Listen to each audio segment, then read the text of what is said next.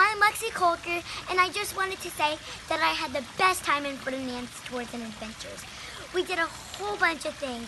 For example, we went on the top of Lion's Head twice, and we saw a beautiful sunrise. We went diving with the crocodiles, we went ziplining, and we went to the wine country.